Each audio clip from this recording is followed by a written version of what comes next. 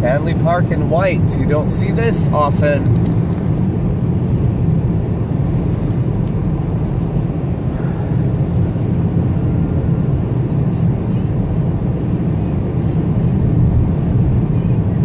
It's beautiful.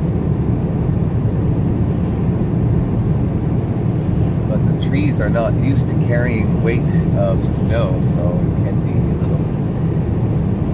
hazardous for falling branches, etc.